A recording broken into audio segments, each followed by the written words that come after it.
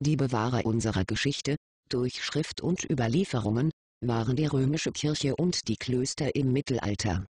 Durch ihr einzigartiges Schrift- und Sprachwissen blieb uns Wertvollstes erhalten. Doch genau diese Bewahrer der Schrift und Geschichte vernichteten alles, was nicht das eigene Weltbild unterstützte.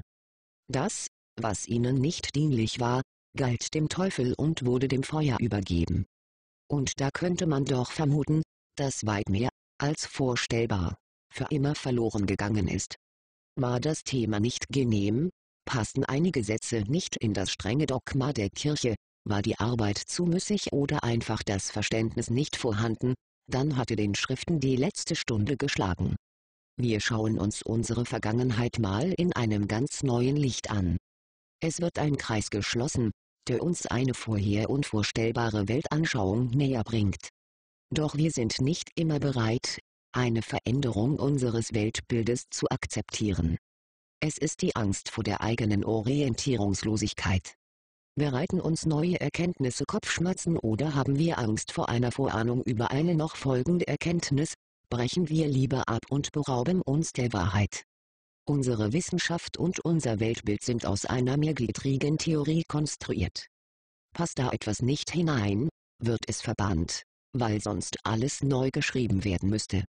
Doch das Töpfchen für die unangenehmen Gegenbeweise wird immer voller und bald überlaufen. Dann fallen die Wahrheiten direkt auf uns herab und schaffen Verwirrung und Chaos.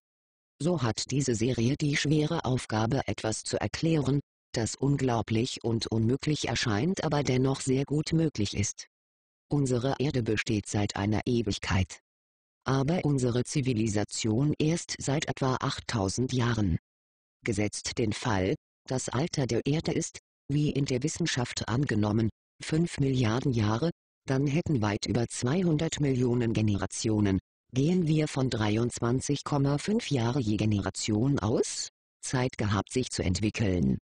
Doch unsere angenommenen 8000 Jahre Zivilisation entsprechen nur etwa 340 Generationen Entwicklungsgeschichte.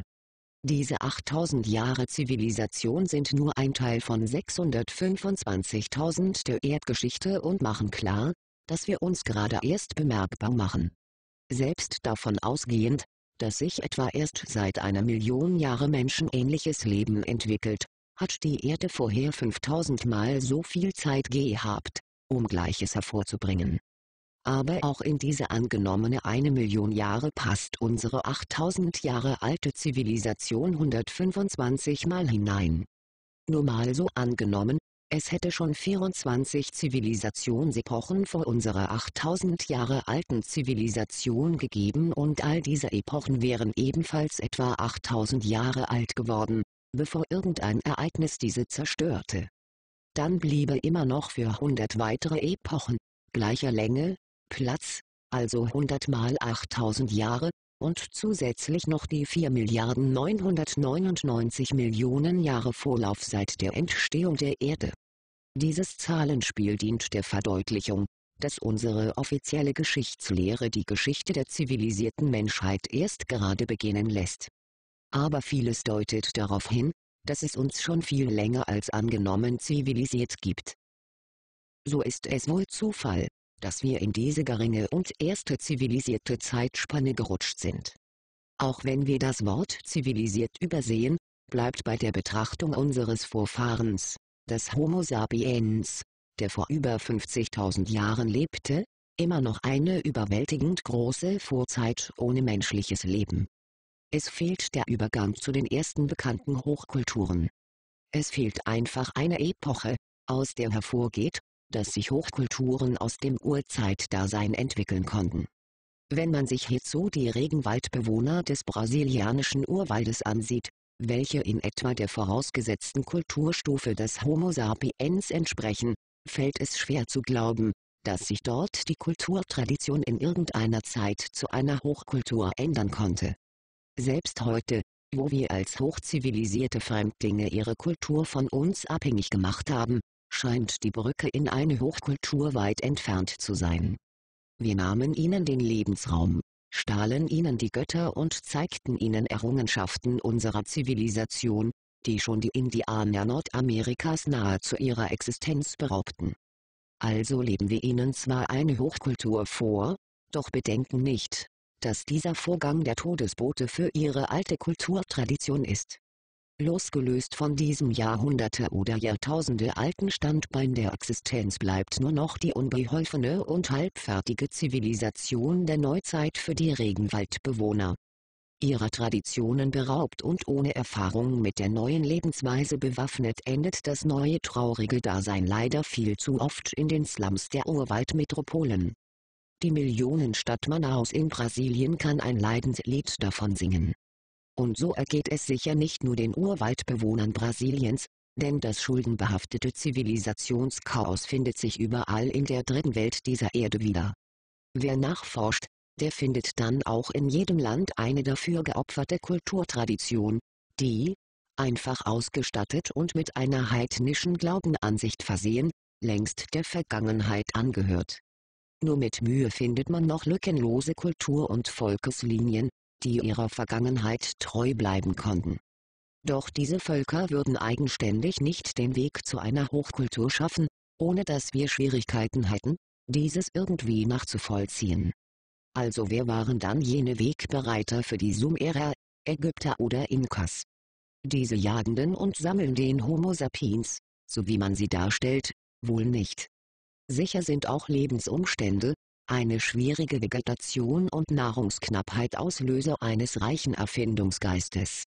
Doch damit monumentale Bauwerke, breite Straßen und riesige Tempel errichtet werden, müsste schon ein Umdenken im Geiste stattfinden. Es muss eine Ordnung entstehen, die einige arbeiten lässt und andere nicht. Das System der sich selbst versorgenden Gesellschaft wird in der eigentlichen Konsequenz aufgelöst und neu geschaffen. Es bilden sich Ebenen, die, einer Pyramide gleich, nach unten hin immer schwerer zu bewältigen sind. Nicht der beste Jäger oder Sammler steht an der Spitze, sondern der, der das System am leichtesten durchschaut. Je bedingungsloser sich einer, mit vollem Geiste ausgestattet, der Pyramide ausliefert, je höher steigt er auf, während die guten Jäger und Sammler im Erdgeschoss verweilen. Man muss sich wirklich verdeutlichen, wie schwierig und zeitintensiv ein solcher Aufbruch einer alten gewachsenen Kulturtradition ist. Es fällt schwer, den Übergang in die ersten altägyptischen Dynastien nachzuvollziehen. Irgendwie ging es ja nach den ruhmesreichen Epochen der Ägypter und Römer eher rückwärts als vorwärts und erst in unserer Neuzeit scheint sich die Spirale wieder nach oben hin zu öffnen. Also was hatte da den alles entscheidenden Einfluss genommen? Wenn wir mal die Außerirdischen außen vor lassen, kommt unsere Geschichtslehre in einen Erklärungsnotstand. Doch die Fragen bleiben. Stimmt dann die Geschichte etwa nicht? Fehlt da ein ganz wichtiger Baustein als Wegbereiter für unsere heutige Kultur? Welche Motivation sollte jemand haben, die Vergangenheit ungeschehen zu machen? Warum setzt man sich mit einer eventuell falschen Geschichtsbasis auseinander? Die offizielle Weltgeschichte beruht auf einer Mixtur aus religiösen und weltlichen Überlieferungen, archäologischen Funden und schriftlichen Zeugnissen vergangener Zeiten. Aber ist das wirklich ausreichend?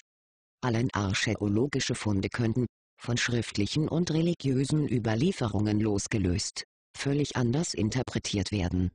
Nur durch Zugabe der beiden anderen Quellen ergibt sich ein Gesamtbild, welches sich heute als unsere Geschichte darstellt und dass die Geschichte sich immer wieder neu und völlig anders darstellt, als ursprünglich angenommen, beweisen Entdeckungen, die so überhaupt nicht in das feststehende Bild der Geschichtsforschung passen. So eine Entdeckung war zum Beispiel das Auffinden der sagenumwobenen Stadt Troja. Heinrich Schliemann machte, losgelöst von der üblichen Recherche, auf Mystik und Sagen hörend, seine große Entdeckung, sehr zum Ärger der etablierten Wissenschaft hatte Heinrich Schliemann seinen grandiosen Erfolg. Aber Heinrich Schliemann bleibt da die Ausnahme, ob schon hier und da immer wieder Sagen und Mythen herangezogen werden, um archäologische Funde vollständig klären zu können. Es lehrt uns die etablierte Wissenschaft nach Prinzipien ihrer Vorgehensweise, und danach sieht auch unsere Geschichtslehre aus. So ist es dann nicht schwer zu verstehen, wenn in den Schulen unsere nordeuropäische Geschichte mit den Römern beginnt, aus der Sicht der Römer behandelt wird und man schnell dazu übergeht, die römische Geschichte genauer zu durchleuchten, nachdem man sich ebenfalls intensiv mit der griechischen Geschichte und vorher mit der ägyptischen auseinandergesetzt hat. Erst ab dem Mittelalter verlassen wir den Pfad der Sicht von außen und finden eine eigene Geschichtsaufarbeitung vor. Ob es aber einen deutschen Gymnasiasten gibt, der mehr als zwei germanische Stämme aufzählen kann, der schon mal in der altnordischen Edda gelesen hat, geschweige denn weiß, was die Edda überhaupt ist, bleibt fraglich. Freuen Sie sich noch auf interessante weitere Teile von Hohle Erde, Fiktion oder Realität. Ich wünsche Ihnen noch einen erfolgreichen Tag, bis zum nächsten Mal. Ihr, Ma Lund, im Kanal Space Mark 7 von terraherz.de